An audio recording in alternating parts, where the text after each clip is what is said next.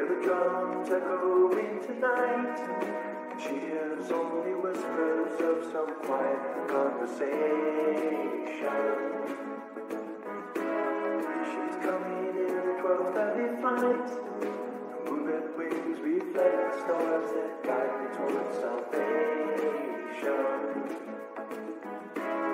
I stopped an old man along the way, hoping to find some old forgotten words or ancient melodies.